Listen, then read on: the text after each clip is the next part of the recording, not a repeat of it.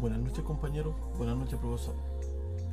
A continuación, con la imagen anteriormente vista, eh, detallaré algunos conceptos básicos de que se nos exige para cumplir esta prueba 3 CCNP Router. Debemos configurar un protocolo BGP entre los routers PE, CP1 y CP2 usando interfaces seriales con el direccionamiento IPv4 entregado, el que vemos en la imagen. Levantar un túnel gris que permita el paso del protocolo IGRP para IPv6, IPv6 entre las dos zonas remotas, sucursal 1, sucursal 2. Como ven acá. Las interfaces loopback de cada extremo deben aparecer en las tablas de ruta IPv6. Da unos datos del video. Por lo mismo, eh, antes que todo, tenemos que decir que ya la configuración está hecha, pero tenemos un pequeño eh, con lo que fuimos haciendo primero. Como ven, la configuración está hecha en el último, eh, ya están activos todos los routers. Iremos revisando qué hicimos en cada router. ¿Mm?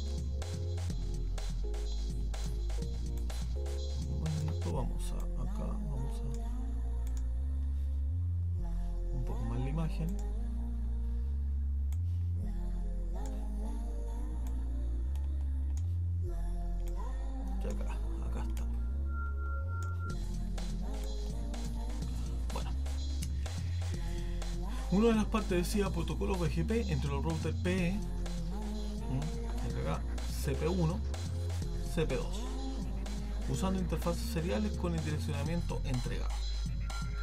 Lo primero que hicimos, configurar el router denominado CP1. Vamos a revisar esto.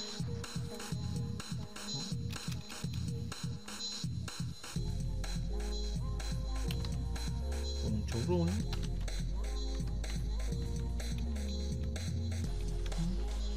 y damos cuenta que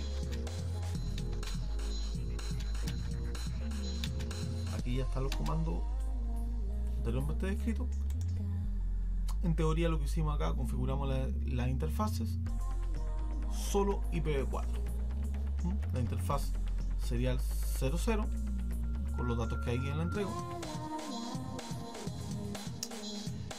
eh, además configuramos el protocolo BGP en el CPU1 que aplica los siguientes comandos. Como acá ven. Como acá están viendo. Bueno. Después nuestro siguiente paso fue ver configurar el router PE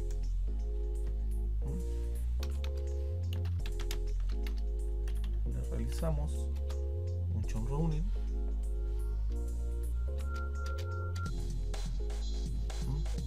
¿Qué hicimos acá? Mientras que lo ven, voy desplegando. Eh, configuramos interfaces solamente IPv4 y el BGP. Configuramos BGP en el CP1 que aplica los siguientes comandos. Por acá ya están viendo los comandos que aplicamos. Esto último es para que conozca el BGP, conozca las dos, las dos redes de los routers, de los dos routers. Ya terminaríamos, terminamos con la configuración de nuestro router PE. Seguimos con la configuración de nuestro router CPE2.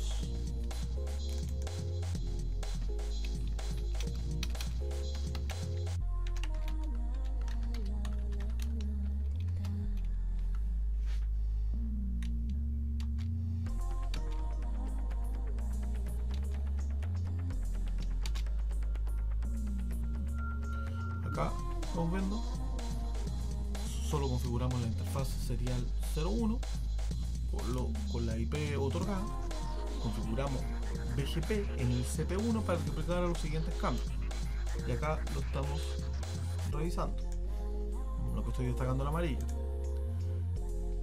Para probar todo esto, probaremos desde el router PE los siguientes pins.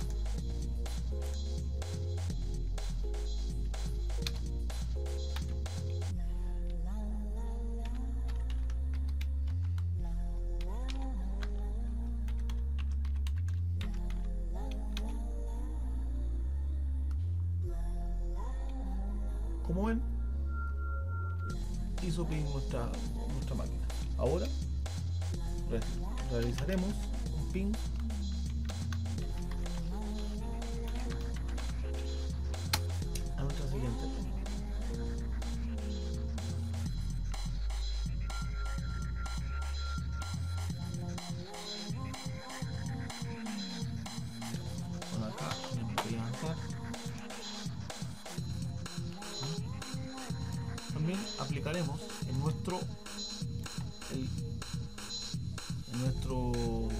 PE el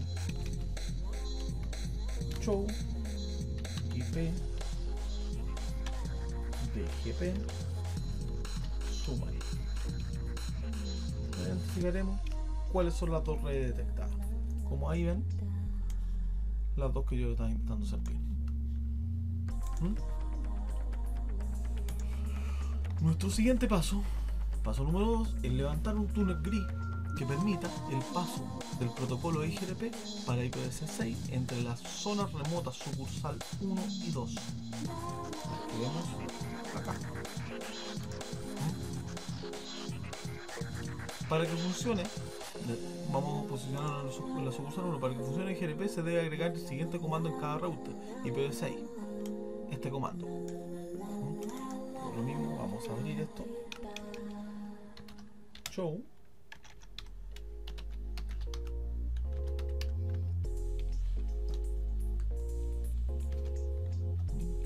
Veremos el comando que nosotros aplicamos. Que acá está. Si se dan cuenta. Además configuramos la interfaz fa- fase Ethernet 00 y IPv6 la adres que nosotros que nos entregaron. Configuramos IGRP, IPv6, EIGR eh, router ID 1, agregamos en la interfase IGRP, se debe declarar la interfase y acá declaramos la interfase. Todo esto en el, en el router sucursal.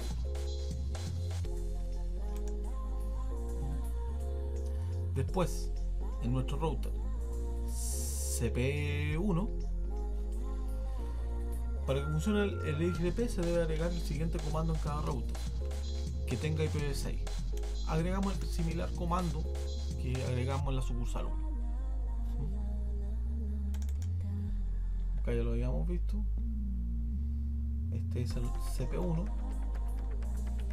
Y el comando está agregado. Quiero que lo vean.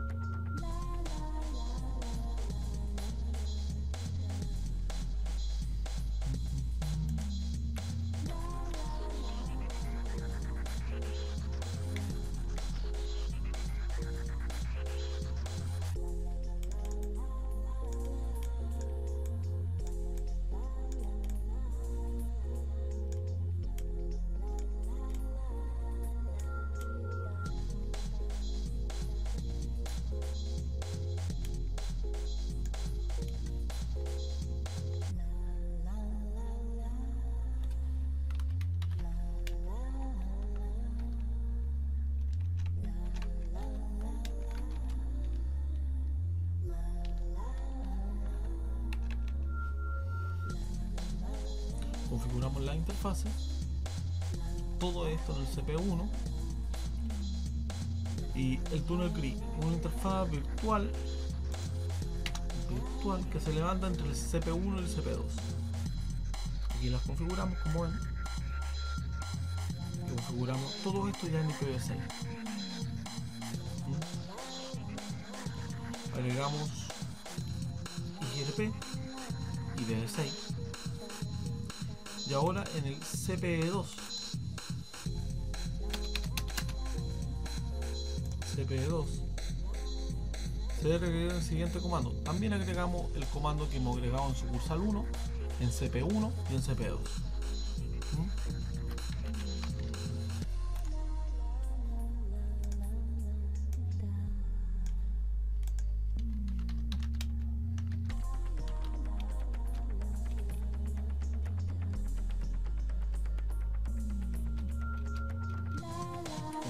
está el comando.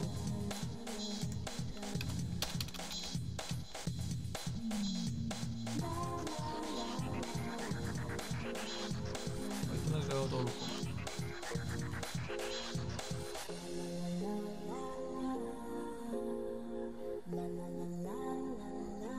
Y en sucursal 2, adicionalmente también tenemos que agregar los comandos anteriormente utilizados con la IP que ya no entregaron.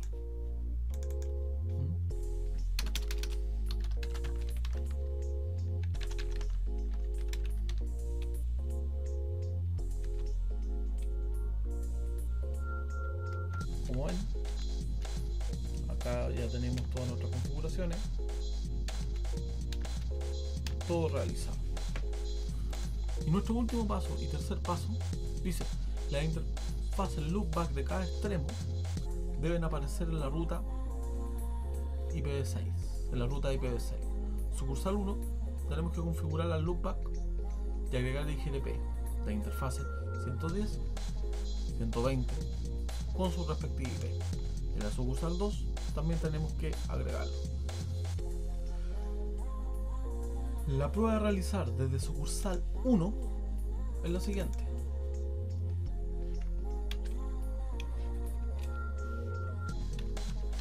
Ping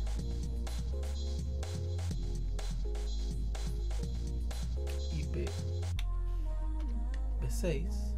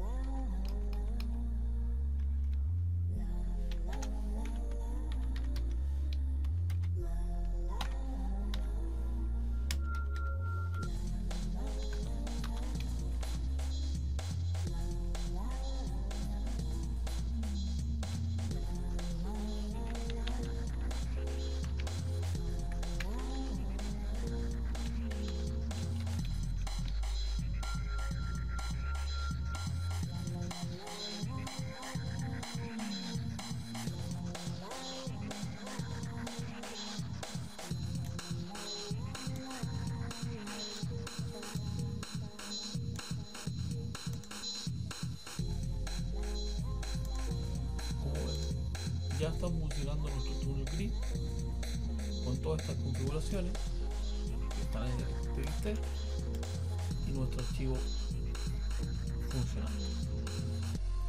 Con esto daría finalizado nuestro video tutorial para realizar todas estas configuraciones. Buenas noches, muchas gracias.